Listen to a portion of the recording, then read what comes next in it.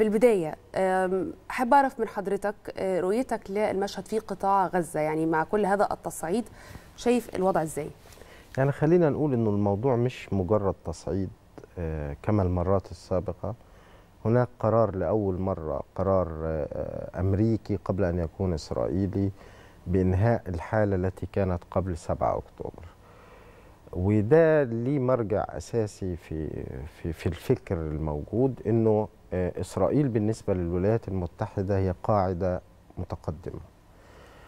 وهذه القاعدة بتبني عليها كل مصالحها في منطقة الشرق الأوسط. وأي اهتزاز في إسرائيل هو اهتزاز لمصالح الولايات المتحدة. م. بالتالي المحافظة عليها هو قرار استراتيجي أمريكي أوروبي. الحادث اللي حصل في يوم 7 أكتوبر عملية 7 أكتوبر كان فيها الكثير من الألم لإسرائيل لأنه اخترقت كل.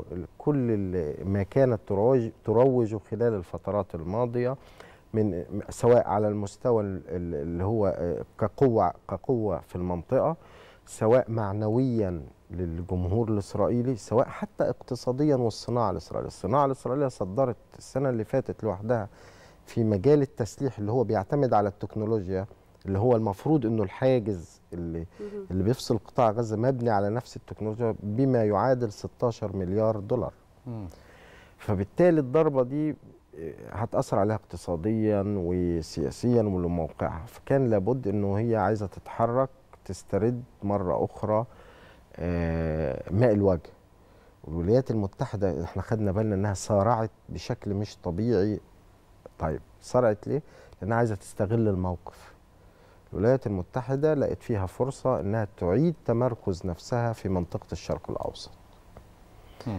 وتعود إلى منطقة الشرق الأوسط. ليه تعود إلى منطقة الشرق الأوسط؟ لأنه ده المنطقة فيها مشاريع أو تسعى إلى إقامة مشاريع في المنطقة لقطع الطريق على الصين اقتصاديا وعلى روسيا.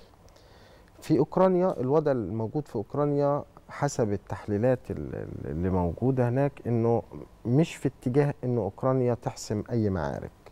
فبالتالي هم أقرب للهزيمة خصوصا بعد ما خسروا الهجوم المضاد. فكان ومنطقة الشرق الأوسط هي منطقة فيها مصالح اقتصادية كبيرة. فكانت فرصة لأمريكا استغلتها. طيب عايزة إيه؟ رجعنا الشرق الأوسط هنعمل إيه؟ هيضرب عصفورين بحجر. هيخلص من نتنياهو وحكومته اليمينية.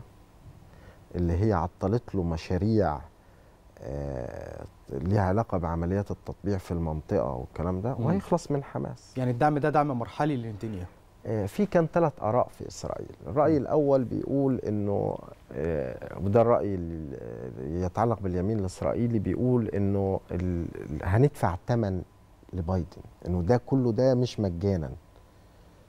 العناق اللي عملته أمريكا الاسرائيلي ده مش مجانا هندفع ثمن سياسي.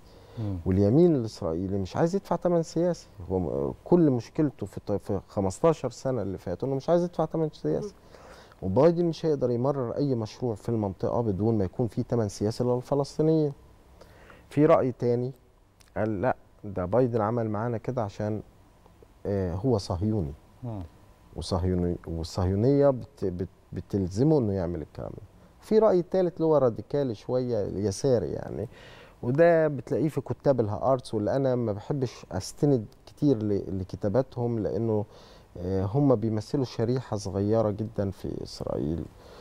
بيقول لأ ده كعناق الدب سيقتل صاحبه. أنا أميل لرأي اليمين إنه في ثمن سياسي هيدفع. طيب هل وصم حماس بالإرهابية وليد اللحظة؟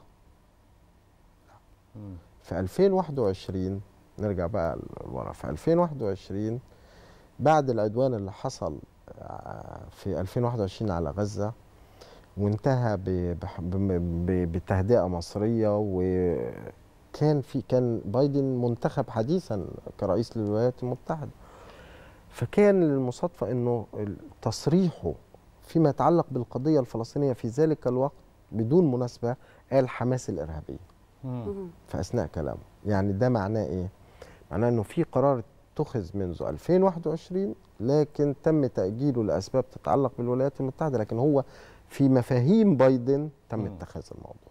فعشان كده هو أول ما حصل آه، آه، 7 أكتوبر كان من أوائل المسارعين والدعم اللي موجود ليه. طيب. آه، هل شايف إن قوات الاحتلال كانت بحاجة إلى قطع الكهرباء والإنترنت عن قطاع غزة لجرائم الاباده هي ترتكب هذه الجرائم منذ بداية التصعيد وما كانش فارق عندها أي حاجة. خلينا نبدأ آه، شوية قبل بعد 7 أكتوبر وإعلان الحرب في وزير إسرائيلي اسمه إسرائيل كاتس. ده وزير النقل والمواصلات والاتصالات قال إيه؟